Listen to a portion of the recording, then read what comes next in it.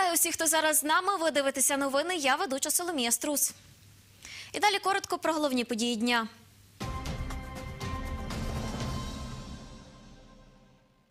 На в'їздах до Почаєва поліцейські облаштували чотири пропускні пости. Рекомендують водіям не заїжджати у місто. Держекоінспектори встановлюють збитки від пожеж на території Серецького та Частилівського орнітологічного заказників. Поліцейські спіймали двох хлопців, яких підозрюють в підпалі смітників у Тернополі.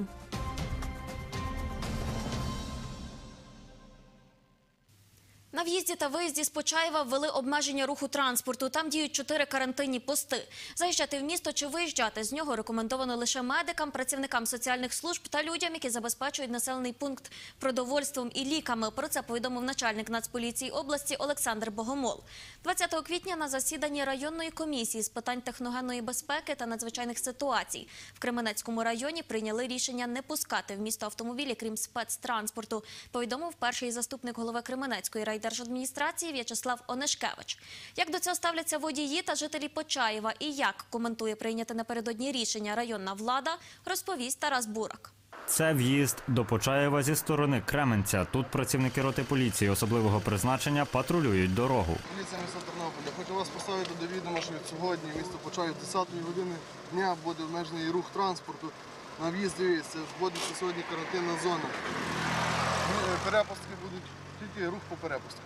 Добре, я зрозумів дуже Все, дякую. щасливої дороги вам. Я Температури транзитом їду. температури немає, все нормально у вас? Чувствую себе дуже добре. Павло Морозюк до Почаєва їде з міста Дубно. Він водій молоковоза. На рекомендації поліцейських чоловік каже: Це дуже хорошо. Чому? Бо то, що мало, мало будуть їздити. Кому то дійсно, що треба їздити, молоко там зібрати, або хліб завезти, а деякі просто собі катаються. у Почаєві карантинні обмеження. Люди, з якими ми поспілкувалися, коментують так. З одної сторони не потрібно, а що- через що кому треба там хліб купити або кредит, або ще якось там влажу. Ну а хто там на роботі, я не знаю, як будуть люди їздити. Нормально потрібно то робити, тому щоб не заразити більше людей.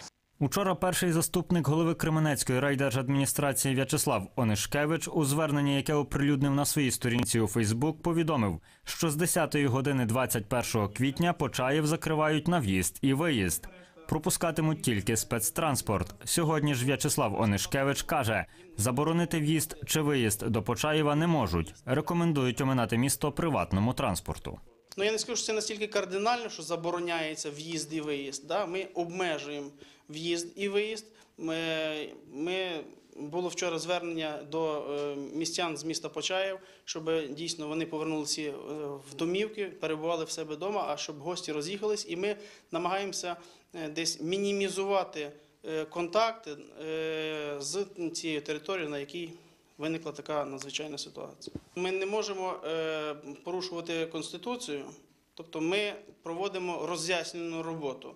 Е, На даний момент, спілкуючись з начальником поліції, він контролює заходи по контролю пропускних пунктах. Він говорить, що дійсно люди з розумінням відносяться, і на, на нашу роз'яснювальну роботу вони повертаються в свої домівки і е, залишаються до завершення особливого періоду.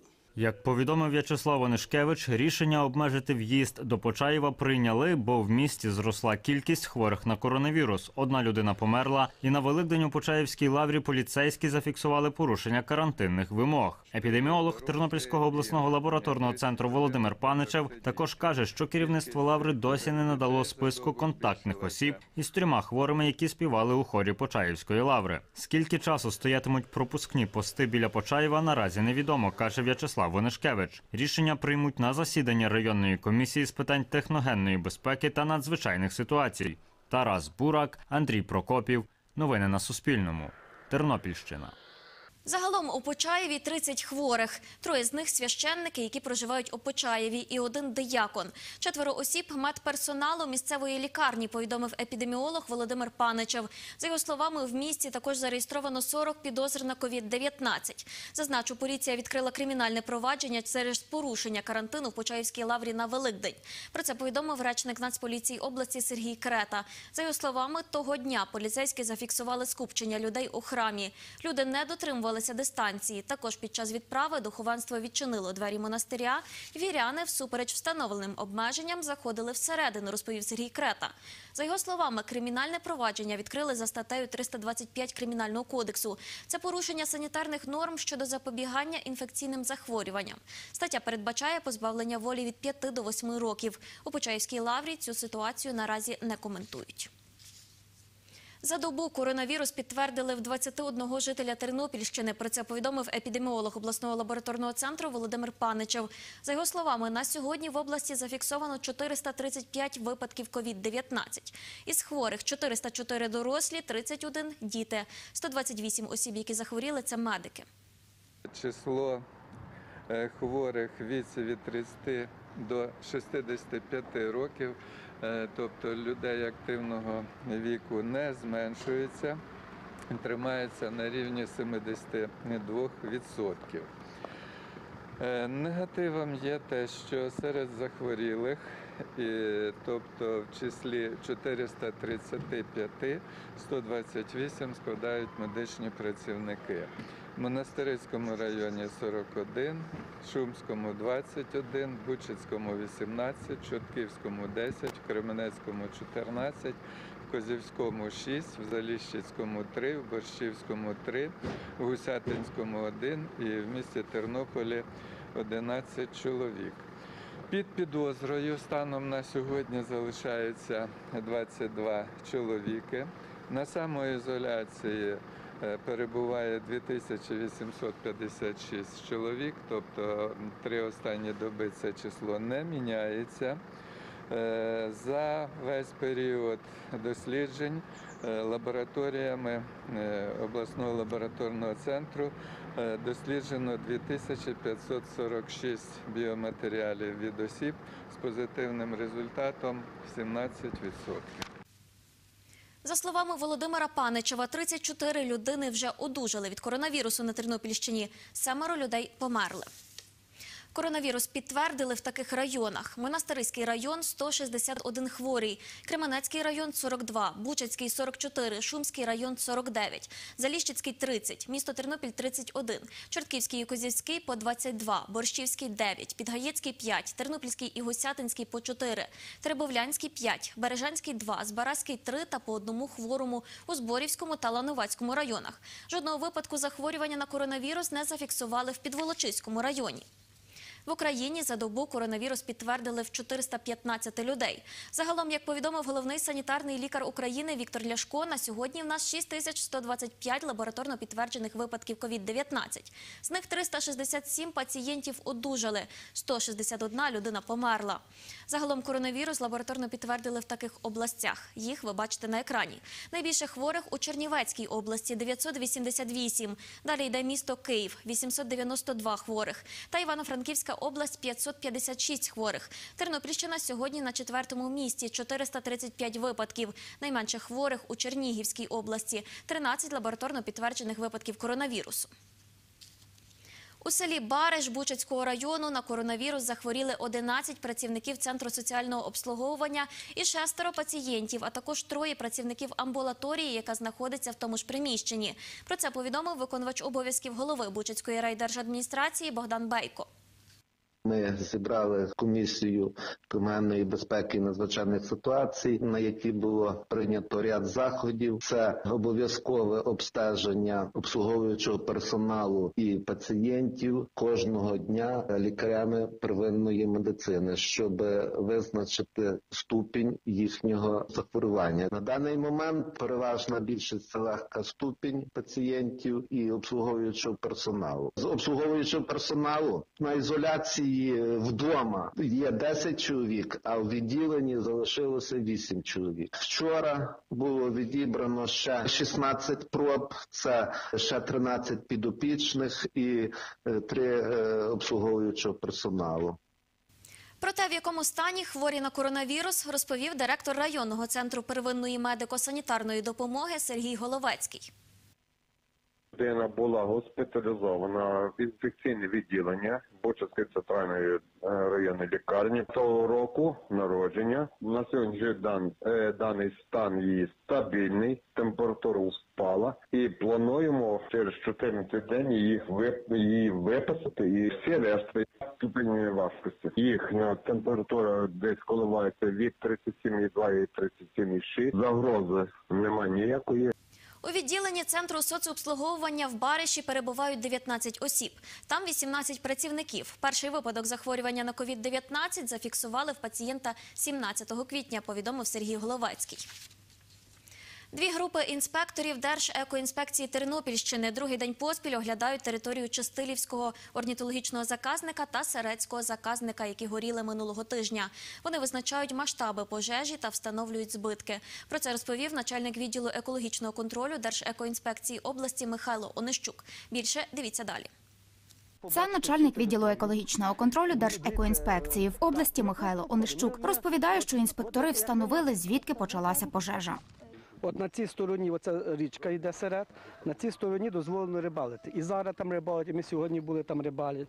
І от звідси пожежа почалася.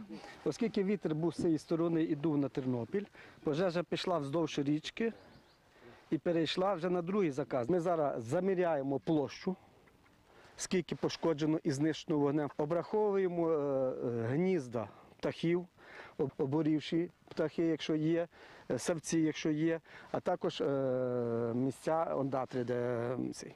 Зараз ми вже обрахували 11 ондатрів місць, де вони скупчувалися, а також 4 гнізда птахів, які загинули. Таке положення про е, загально про орнітологічний заказ загальнодержавного значення Чистилівський. І от що тут є? Основним завданням заказника є створення для збереження у природному стані водно-болотних угідь, як місця проживає, що в даному випадку згоріло, концентрації під час міграції та відтворення численності орнітологічної фауни Гоголя, кульона великого, коловидного ставка, видів птахів занесені до червоної книги. За словами Михайла Онищука, щоб точно встановити масштаби пожежі, потрібно не лише наочно оглянути територію, а й використовувати супутникові інтернет-карти. Почали з цього з кінця, тому що фактично з, з великого глибочка зверху видна вся територія цього заказника. І ми почали з середського заказника. Ми стараємося знайти маркери цієї території. Тобто річка це є е, один маркер. Відповідно, де початок е, пожежі, як я вам сказав, він почався на гідрологічному заказнику. Ми вже знаємо. Здовж річки за допомогою супутникових карт нами буде встановлена площа, тому що не всюди ми можемо дойти. Ми вже ходили до тих місць, де були згорені ондатри, і вже провалювалися наші хлопці. Тому десь, де можна зайти, ми зайдемо, а де не можна, не зайдемо. Відповідно від того, ми зм- змасштабуємо це з інтернет-картами, і буде обрахований збиток заподійний цьому об'єкту. Групі інспекторів обстежувати територію допомагає голова Тернопільської міськрайонної організації Товариства мисливців і рибалок Григорій Каліновський. Користувач це наші мисливські угіддя. Я за- як зацікавлена сторона, тим більше показує їм всі факт, іменно який відбувся. Тут полювання заборонене. Це спеціальне місце є для розведення дичини. Григорій Каліновський розповідає, що це він викликав рятувальників і поліцію, коли побачив, що заказник горить. Чому мені перезвонили? Да. В 14.58, по-моєму, був дзвінок мого члена, нашого члена товариства, який має наверху Івачеву дачу, який побачив дим. Де Він бачив в бінокль чотирьох людей, які рибаків, які ловили в тому місці, і троє з них пішло. Ми, я був визвав національну поліцію і, і службу порятунку, яка під'їхала миттєво практично. І єгер завів до того рибака, в нього його допитала національна поліція. Ну, так як по моїх, моїй інформації, що нічого конкретного він не вказав. Хто Михайло Онищук каже, якщо інспектори кваліфікуватимуть наслідки пожежі як знищення заказників, то особам, які підпалили, інкримінують статтю 252 Кримінального кодексу знищення території та об'єкту природозаповідного фонду, яка передбачає позбавлення волі до п'яти років. Ірина Терлюк, Марта Журавель. Новини на Суспільному. Тернопільщина. Загалом на Тернопільщині за два дні, 17 і 18 квітня, згоріло 8 гектарів орнітологічного заказника. Вогонь наблизився до села Плотича. Гасити його заважали болота. Пожежникам знадобилося 10 годин. Наші кореспонденти були на місці події 18 квітня після того, як пожежу погасили. Володимир Петришин розповідає, їхав дорогою, коли побачив вогонь. Одразу подзвонив надзвичайникам. Потім пожежа швидко розповсюдилася отут по всьому цьому плату, перекинулася якимось чином, тому що вчора був е, сильний вітер, в принципі, як сьогодні, перекинулася на цю сторону через дамбу і загорілася все решта. Чоловік каже, через пожежу у селі був сильний дим. Дихати було нічим. Моєї дочки бронхіальна астма, і вона дуже складно це перенесла, мусили вживати ліки. Іван Сенюк розповідає, вогонь було видно з його оселі. О, і, з хати дивлюся, вже воно аж тут. О, і так воно горіло, що було того вогонь аж вище отих зданій. То дуже сильно горіло. Речниця тернопільських рятувальників Ірина Крупа розповіла, боролися з вогнем усю ніч. Вигоріло 8 гектарів території заказника. Надзвичайникам було складно підібратися до осередків займання через заболочену місцевість та водойми. Еколог Ігор П'ятківський каже, збитків поки що не встановили, а територія заказника є унікальною для деяких червонокнижних тварин та рослин. Ще серед тих е, заростей водноволотої рослинності дуже часто гніздується багато видів е, птахів, в першу чергу перелітних, качиних, гусиних та інших. І якраз зараз е, з 1 квітня почався період спокою, коли е, ці е, птахи почали поступово гніздуватися. Обласна поліція нині провадить розслідування. За знищення або пошкодження лісових масивів та зелених насаджень передбачено штраф. За новим законом це до 153 тисяч гривень або ж позбавлення волі від 2 до 5 років. Оксана Гуцул, Ірина Терлюк, Володимир Заболотний. Новини на Суспільному. Поліцейські спіймали двох хлопців, яких підозрюють у підпалі смітників у Тернополі в ніч з 19 на 20 квітня. Одному із хлопців 17 років, іншому 18. Про це повідомив начальник Тернопільського відділу поліції Сергій Гаврилюк. За його словами, горіли сміттєві контейнери в чотирьох місцях у дворах будинків східного масиву. Про ці факти правоохоронців повідомили місцеві жителі. 20 квітня, починаючи з 5 години ранку на лінію 102, надійшло ряд повідомлень про підпали смітників в різних частинах міста. На місце події відразу було направлено слідчу оперативну групу та викликано вогнеборців. Вдалося затримати осіб, підозрювані в скоєнні даного злочину. Ними виявилися громадяни 2001 та 2003 року народження. Повнолітній із них раніше притягувався за скоєння аналогічного злочину. По даному факту порушено кримінальне провадження за ознаками статті 296 частини 2.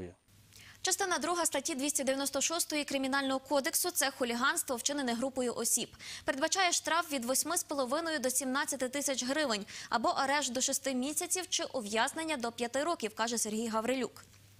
Це всі новини на сьогодні. Я бажаю вам вдалого завершення вечора. Більше матеріалів переглядайте на нашому сайті або Фейсбук-сторінці. На все добре.